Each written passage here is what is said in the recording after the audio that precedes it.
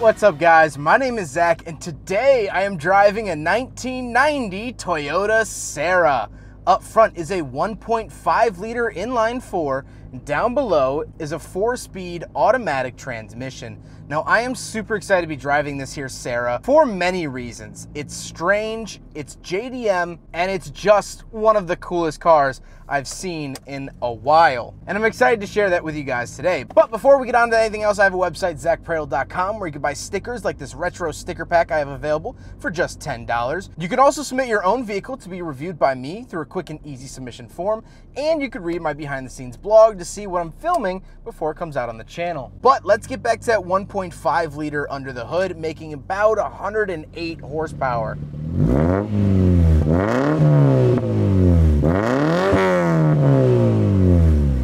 Well, it's not a horsepower monster. It's not anything too crazy.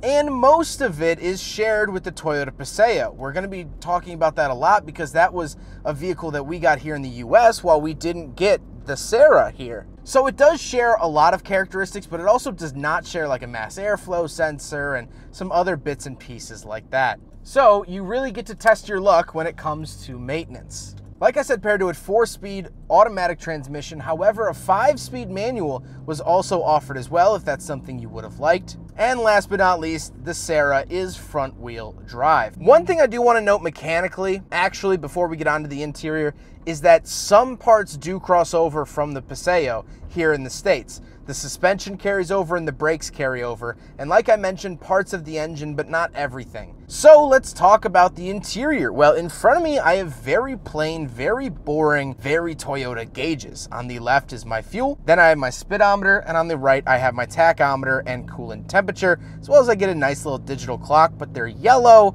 they're basic, they do the job in a very, very Toyota way. Speaking of which, the steering wheel doesn't have any pizzazz or flair either, with just a little Toyota logo in the center, and that's it. The spokes of the steering wheel are also way down low not very driver oriented, more of a cruiser or Corolla or something like that. Off to the right of me, I do have my power mirror switches and a little cubby slash ashtray. And on the door, I have my window locks as well as my power windows. However, as you'll notice looking at the Sera, that's the only bit that opens. That's it, like a DeLorean or Countach.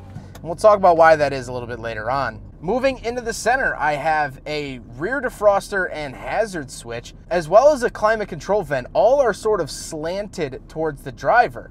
Kind of unique there. But then we have the climate controls. A couple of things to note here. First of all, I have automatic climate controls, which is fantastic for 1990. But also, it was standard on the Toyota Sera to have air conditioning. The reason for that is the bubble design. As you can see, there's window up above me, next to me, in front of me, and behind me. And so that creates a greenhouse effect, which means that you get pretty boiled in here. Now, they did offer these shades that would pop in as well, but I wanted to experience the glass up above me today. But that meant that every single Sera got air conditioning no matter of trim or phase. Then I do have an aftermarket radio because every radio from the 1990s was pretty garbage and also Japanese domestic vehicles don't get American frequencies. So you got to change that out if you're to live with one in America. Then I have a cigarette lighter and ashtray and then I have the shifter. The shifter is pretty much out of every other Toyota, nothing really too crazy or interesting. However, the owner Ian has put a Japanese domestic market backup warning in this particular Sera, so I'll give you a listen.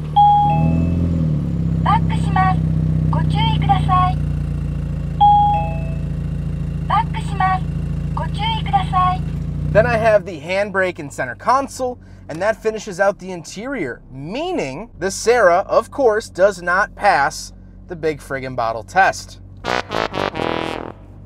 One of my favorite pieces of the interior is the floor mats. They are the original floor mats, which is fantastic. You had three choices, either black, brown, or this awesome, fun retro pattern that I absolutely love, and I'm so glad that this Sera has them. The seats are decently comfortable. They're a little bit small, but I also recognize that I am larger than most, if not any Sera owner ever. So that's to be expected.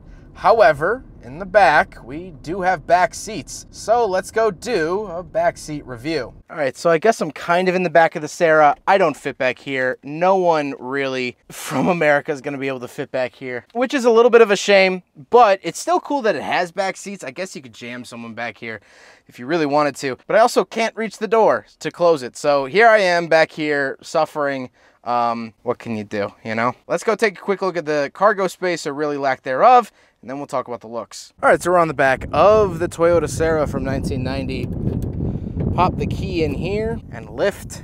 Although I do want to mention the key. This is a Royal Clover key, which was actually kind of a collector's item in Japan, which is kind of cool. Something interesting is that this is actually a cargo cover. These are factory speakers. However, they come up with the cargo cover. But once you're down here, that's it. That's your whole trunk. Compare this to a Miata. Um, I think that's the only thing really comparable in size is a Miata trunk. It's not very spacious. And this is actually refinished in suede. Normally it would be sort of this like leathery material, but the owner Ian actually redid it in suede. I think it looks great. But that's it. That that's all the stuff. Now we got to talk about the looks and let's get the normal looks out of the way. I think it looks fantastic. I think it looks futuristic. I love the curved bubble dome. Kind of reminds me of the old Speed Racer Mach 5. He had that like underwater dome that would go over the Mach 5. Same sort of idea here, at least in my book, which I think is just phenomenal. Something interesting about the headlights is that the Sera was actually one of the first cars to have projector headlights all the way back in 1990. Kind of interesting. But then let's talk about the biggest design trait, the one that everyone looks for, the butterfly doors. Look at them in all of their glory. That's right, this car has butterfly doors like that of a McLaren F1, which interestingly enough, the designer of the McLaren F1, Gordon Murray, was actually quoted as saying he saw a Toyota Sera this car in his neighbor's driveway with the doors up and said, hmm, I'm gonna put those doors on my car. And thus, one of the most famous cars ever produced, the McLaren F1, copied this. Take that, McLaren. So, a little bit of fun fact trivia for you. But now let's get to my final thoughts on the 1990 Toyota Sera, which I kept accidentally calling Michael Cera when I was doing research but whatever. Is this car fast? No. Does it handle like no other? Also, no. It is very Toyota. It's very business in here. I recently drove a Toyota Celica All-Trac Turbo, and I said that that car was sort of lacking pizzazz. When I drove it, I don't know, it was kind of like mumbling its way through the back roads I was taking it on. And so this drives in a quite similar manner. It's not crazy quick, it doesn't handle really well, it does things adequately, sure, without a doubt, but there's no pizzazz in the driving experience. But in this instance, that's okay, because when you park this thing and those doors go up, everything else stops. Nothing else matters at that point. Driving in here, actually looking up and seeing this bubble, no line. Look at look over my shoulder. There's no pillar up above my right shoulder like there would be in a car. There's no frame. It's just curved glass all the way. I mean, how many vehicles have you driven that do that? Not many. And that's where the Sera becomes special. And this car is incredibly special. Does it drive any different than any other Toyota? No, but the doors go up, you get curved glass up above you, no one knows what it is. Everyone will stop you at the gas station and say, hey, what is that? What is that? Is that a little DeLorean? Is that a shrunken McLaren? And you get to say, no, it's my Toyota. And that is so cool. I hope you guys enjoyed the video. Huge thank you to Ian for letting me review his Sera. I've been wanting to drive one of these for so long. As soon as I learned what they were, they were immediately put onto my bucket list, and I'm so glad that today I get to finally check that off. That's all thank you to him. His Instagram is found in the description below. Asian McLaren, which I absolutely love. You can go check it out, see all of the sweet photos and videos and more information on this particular Sera.